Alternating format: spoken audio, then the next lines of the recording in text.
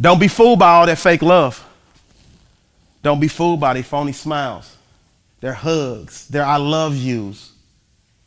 Snakes in the grass. Snakes in the grass slithering. And hear them coming a mile away. I can smell them. I can sniff them. I can see them. I can taste them. But some of you get blinded by them. Yeah.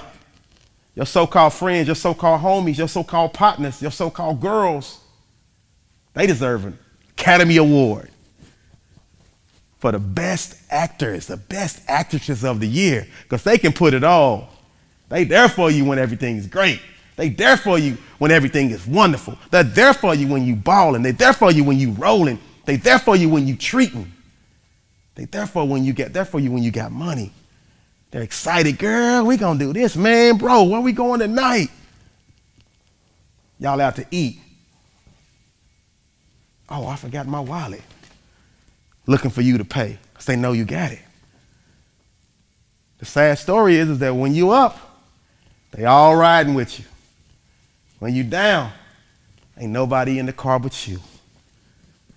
They act like they got love for you, but only because it benefits them. I don't know how many different ways I can say this. Just because they are in the car with you does not mean that they are riding for you. So many of us have to learn this the hard way. Situation where You've poured into this person. You have nothing but their best interest in your heart. And then when the shoe is on the other foot, they don't even want to talk to you. They got with this guy, right? You've been with dudes. You still was just as cool with her as you as, as always. She got with him. He told her he don't want her talking to you.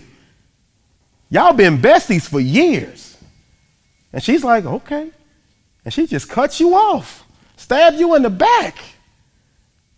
You didn't even see that she had a knife behind her back. Same thing with my bros, got with her. She's like, I don't like them dudes. Good dudes. Not like they some, some, some thugged out dudes or somebody that's leading them astray. She just don't like him because she wants to, to absorb all of his time. And he just cuts y'all off. Low down. They act like they got love for you. Have your friends, have your family, have your relationships.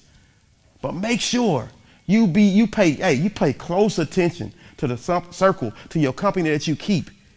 Because when you need them the most, I promise you, they will turn your back on you. You need to find you a group of friends, and y'all need to make a pact, and y'all need to keep that pact. And you need to know in your heart of hearts that if you down, they gonna pull you up. And if they down, you gonna pull them up. So have your friends, have your family, have your relationships, but make sure you stay woke. I call them halftime homies because half the time they smiling in your face. Half the time they want to take your place. Remove and eliminate those halftime homies from your circle.